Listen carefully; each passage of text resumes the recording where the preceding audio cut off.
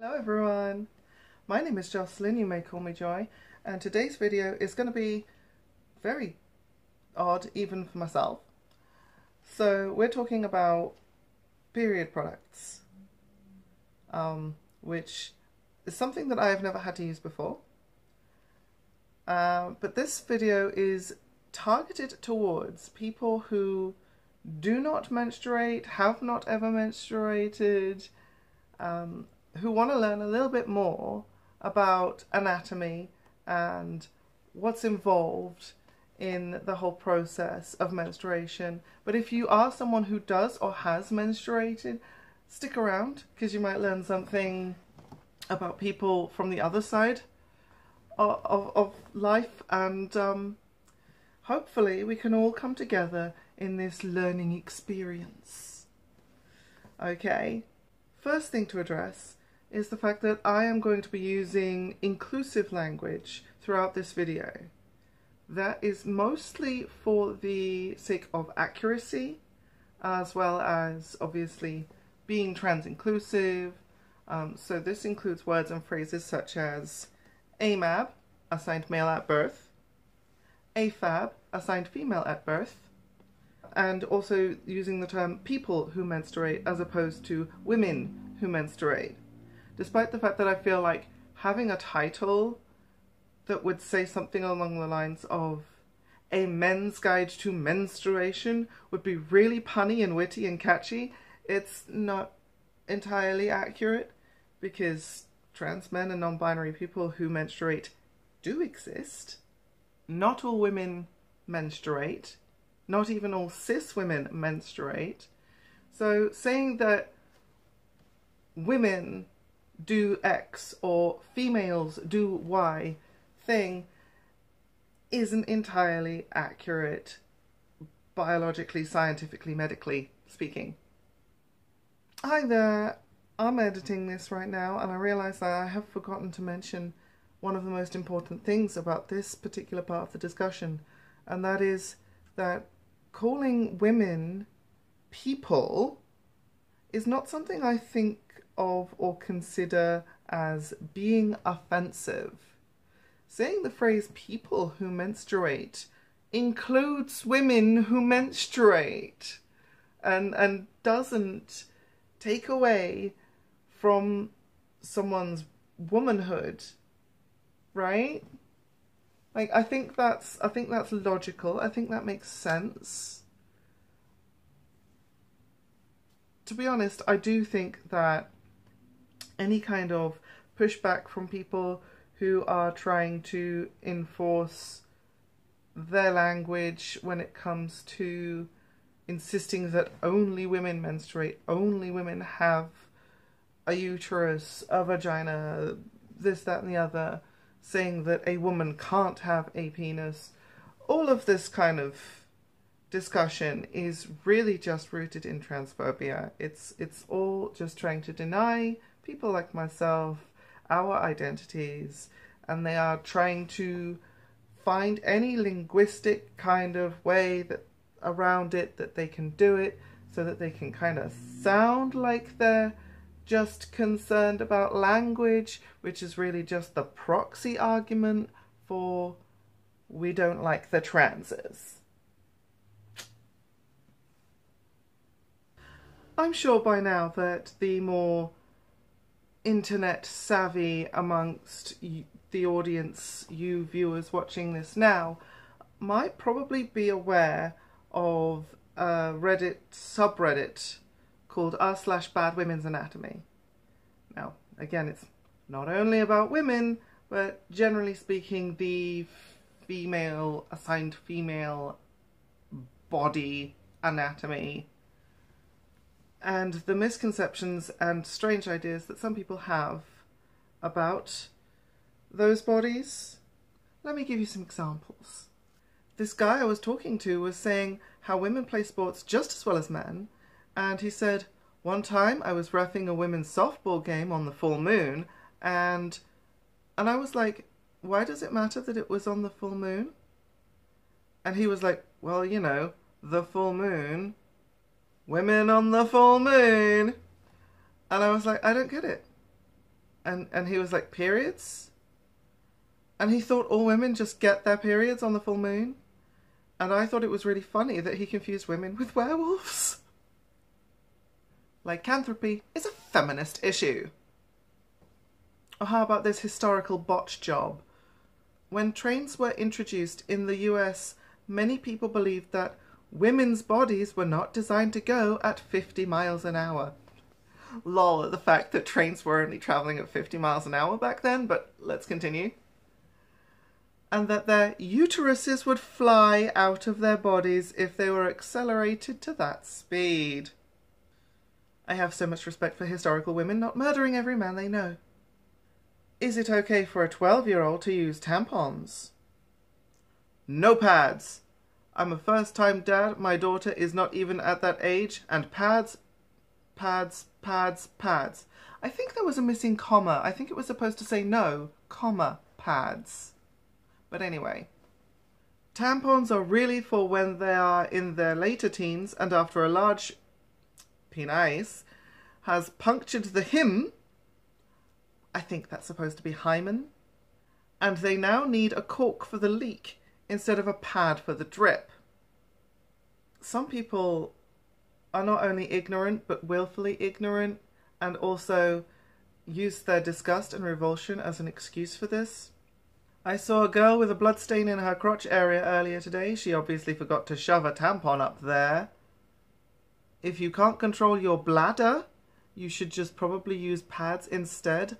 All the time, though?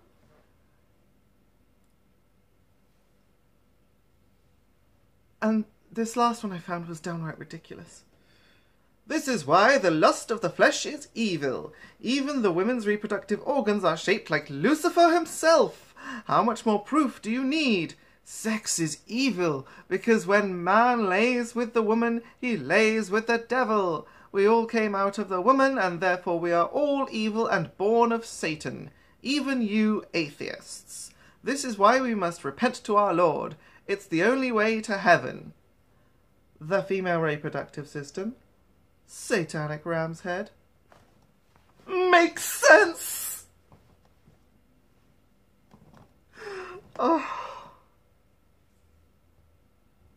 The leaps in logic these people go to is incredible. As I hope I've just demonstrated, more education is necessary. And that is what this the aim of this video is for. Obviously, I don't think I'm going to get through to some random religious nutbag, but dear God, there are there are some people on, like that are just truly innocent when it comes to their ignorance. So, I myself am a victim of this. As someone who was socialized as a boy at school, I remember having uh, sex ed lessons like separate from those who are uh, assigned female and socialized as girls. Um, this wasn't all of the sex ed lessons, but it was true for the primary school that I went to. Um, we had separate things there. They showed us different videos about what was going on with, like, what was going to happen with our bodies in puberty and stuff like that. Um, so it's no wonder then that there is some of this like ignorance flying around. And the fact is that sex ed lessons in a lot of especially deeply religious conservative areas still refuse to teach sex ed properly. When I was in secondary school, I remember we did a few lessons about contraception, like this is a condom, this is a femidom, this is the coil, blah blah blah. Okay, cool. None of that applies to me, of course, but it's still useful information to know. Um, I also remember making a like a, a, a model of the female reproductive system out of like bits of paper you just had a paper uterus that I had to colour in and then, oh look, there's a fetus and it goes inside and we wrap it with cling film because that looks like amniotic fluid and that really didn't teach me anything about periods or menstruation or anything, you know? So, yeah, um, pretty basics stuff there. I could live to learn something here. So, I I underwent a little bit of an experiment myself.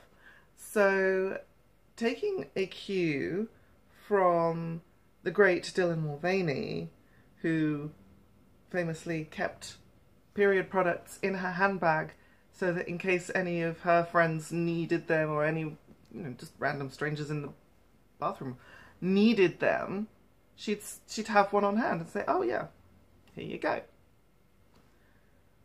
I was in the supermarket a few weeks ago and I was shopping as I normally do checking out the uh, the discount shelf and I saw this.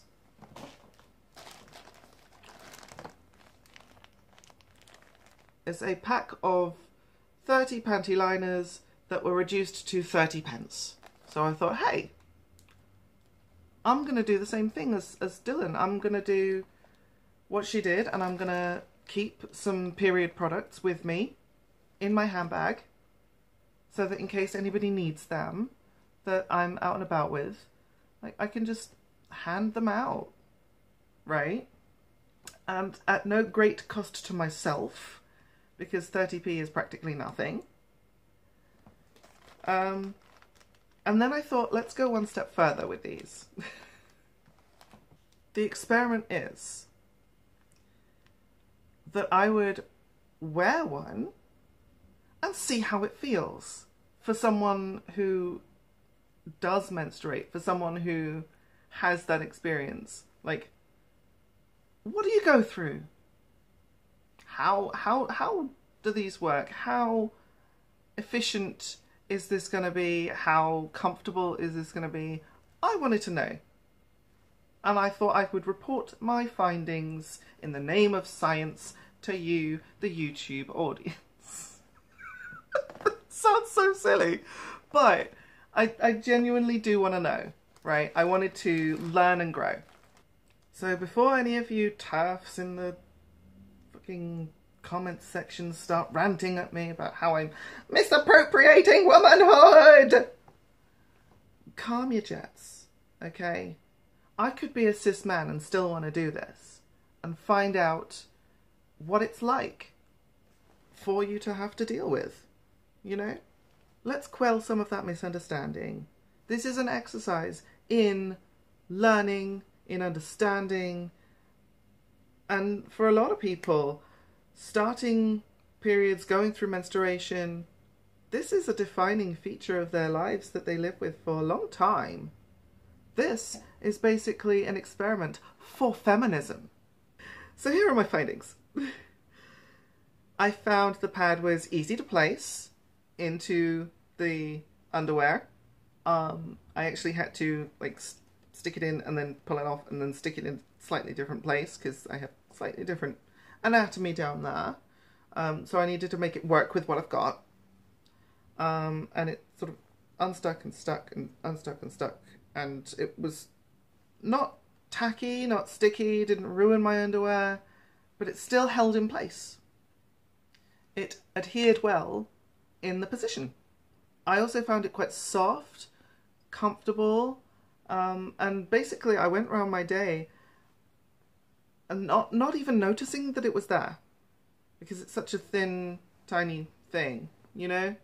Um, of course, I went around my day as normal because I wasn't experiencing a period with pain or cramps or bleeding, but it was still an experience that I felt I got a little bit of value from. I also think that these would be really useful for anyone who, for example, anyone who does have a penis, um, who has just had surgery down there or has just had a piercing down there and wants to not ruin their underwear with blood.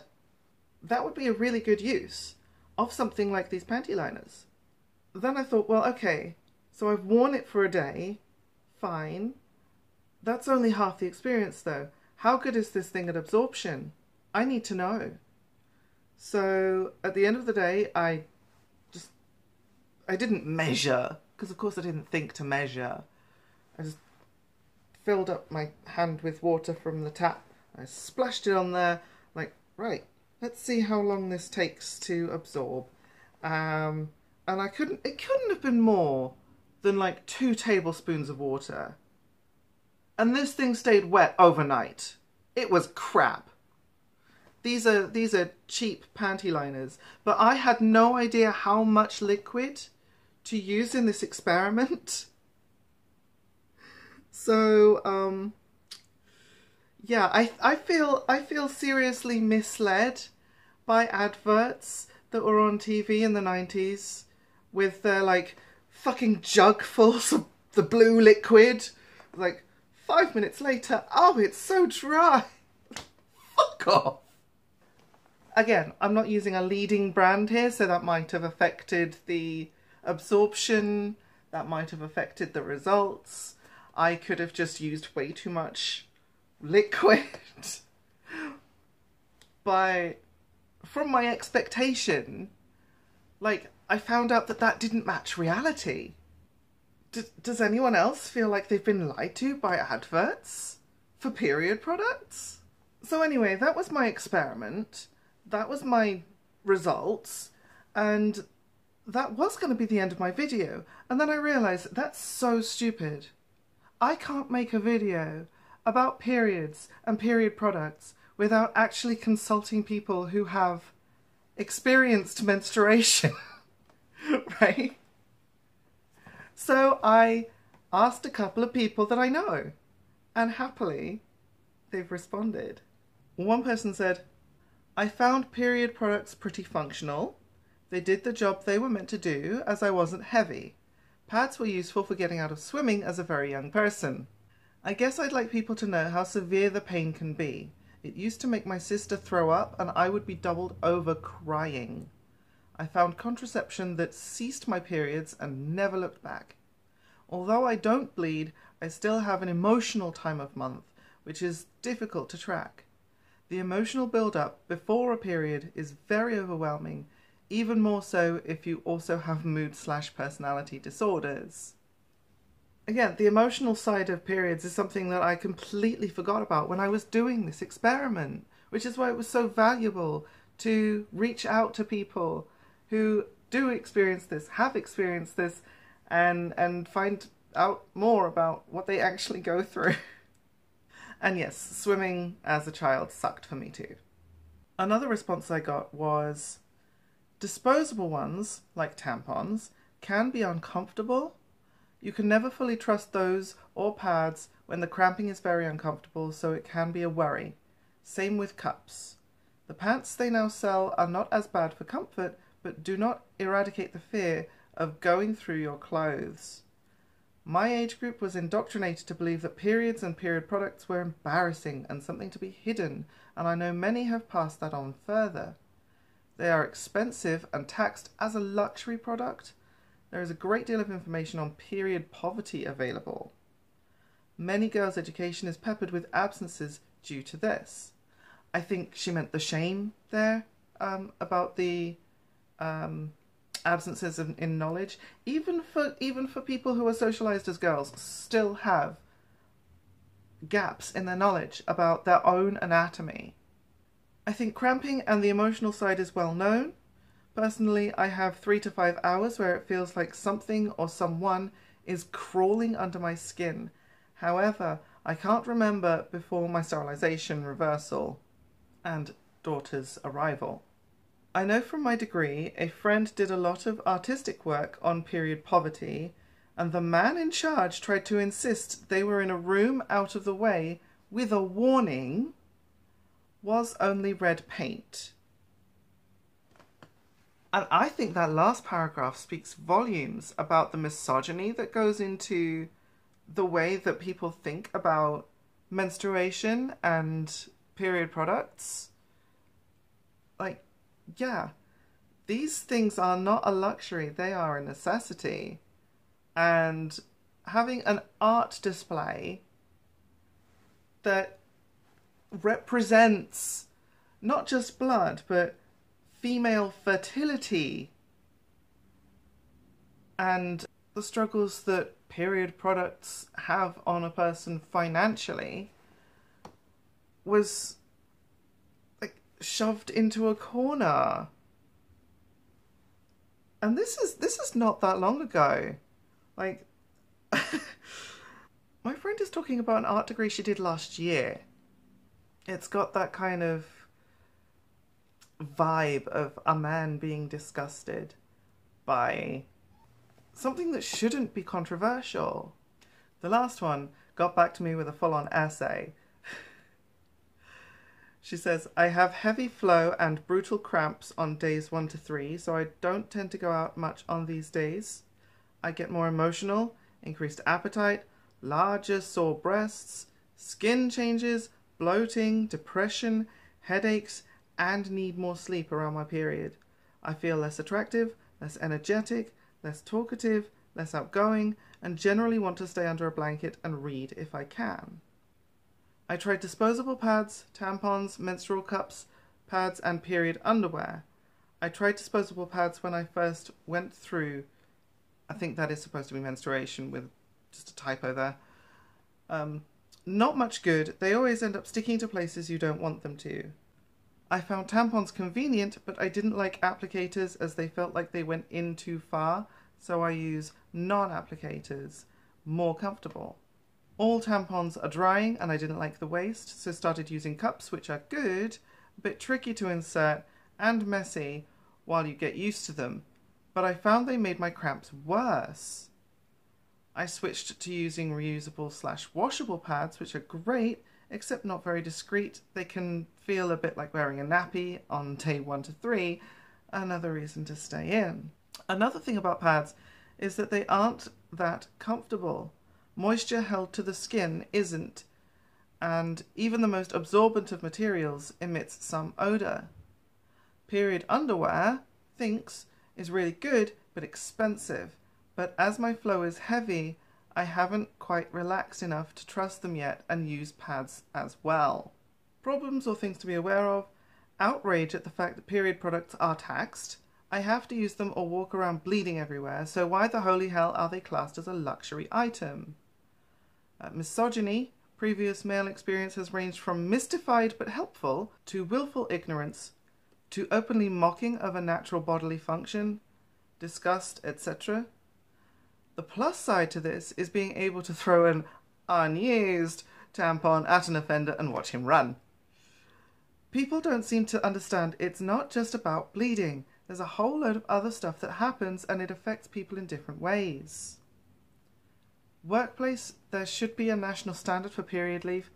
People who suffer from debilitating cramps should be able to have time off without needing to use holiday or sick.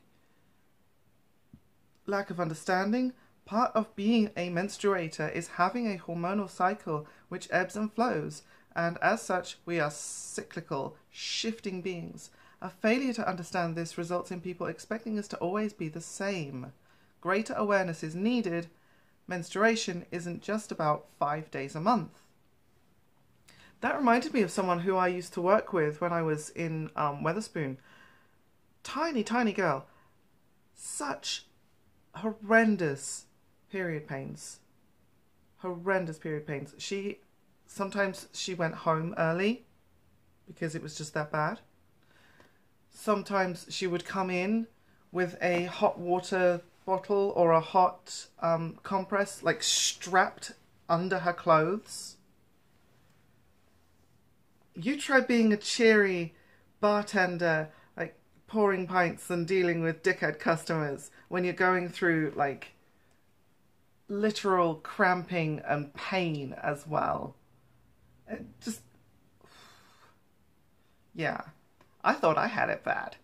Before I finished editing this video, I got another message from somebody else that I reached out to, so I really wanted to include her perspective as well.